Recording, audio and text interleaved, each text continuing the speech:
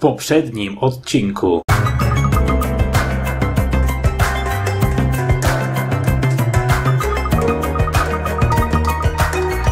A teraz kontynuujemy. Witajcie ludzie z tej strony Perkorn, a to rozdział zerowy Danganronpy Zero Roleplay edycji drugiej. W rozgrywce, którą zaraz zobaczycie, ja wraz z Game Masterem zastosowaliśmy pewną rzecz dla smylenia graczy.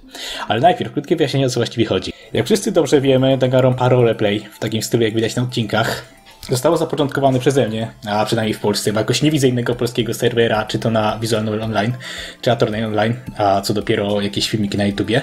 Ale wracając do tematu. Przez to też, aby zebrać graczy, oprócz kilku znajomych, wrzuciłem film na YouTube na temat tego, jak się zgłaszać, o co chodzi i ogólnie takie sprawy. I od trzeciej edycji byłem już graczem i czułem się po prostu, że gracze daje mi niejako Trochę ciężko to określić, ale powiedzmy, że ufali mi ponad wszystko, nie starali się mnie zabić czy wykiwać i w ogóle takie sprawy. I zostało to potwierdzone przez wiele razy przez takie zdania jak Popieram Izuru! Zgodzą się z nim. No i wiele podobnych. Nazwijmy ten fenomen hashtag Timperkor. Ale powiedzieć to łatwo. Nieważny kim bym grał, zawsze się ze mną zgadzano. Co niestety może was wkopywać w kłopoty. Czasem słyszałem takie teksty jak po co morderca kogoś zabije? Wystarczy przecież Perkorn i przez to on też przegra.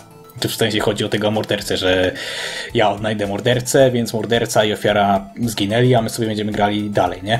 No, ale bazując na tym, że większość rozpraw, w których brałem udział, była przegrywana przeze mnie i szczególnie było można to zobaczyć na Wielkim Polowaniu, czyli to była pierwsza rozprawa z Danganronpy Roleplay 3. I tak samo nie udało mi się odnaleźć prawdy w czwartej edycji to no ja nie wiem, gdzie, gdzie tutaj jest niby moja świetna zdolność do wygrania. No dobra. I zakładając, że później odwrócimy sobie do górnogami to zdanie, być może nie dosłownie, ale powiedzmy, że gdybym ja je wymawiał, mogłoby zabrzmieć tak. Po co morderca kogoś zabije? Ponieważ to byłem ja, a przez to, że tak mi ufacie i uznajecie, że jestem taki dobry na rozprawie, wystarczy, że po prostu zwalę na kogoś winę, a wy myśląc, że mam jak zwykle rację, mi uwierzycie i dzięki temu wygram. Nie byłoby tak? No cóż. Dlatego też w tej oto rozgrywce wmawialiśmy każdemu, że Nobu będzie grał Cloverfield, a będę nią ja, a za to Perkorn weźmie Monakę. Oczywiście był nią Nob.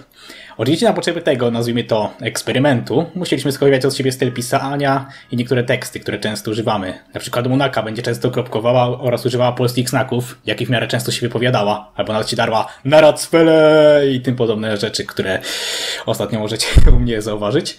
A natomiast Klauer, która jest Game Masterem, w cudzysłowie, będzie trzymać się z tyłu i dawać po prostu małe komentarze. Tak samo będę dawał jakieś informacje graczom, które dostanę wcześniej od Game Mastera, jak na przykład jakieś opisy pokojów i tak dalej. Ale oczywiście nie będę wiedział nic więcej od graczy, bo po prostu też przecież będę chodził za nimi i tak dalej, więc niejako te info, które mi daje Game Master, ja od razu je dostaję je dopiero wtedy, kiedy są potrzebne i po prostu je od razu przekazuję innym graczom, którzy też są w tym pokoju. Więc ani, ani ja nie mam więcej info, ani no, po prostu wszyscy gramy na równi, pomimo tego, że wszyscy muszą z tym Game Masterem.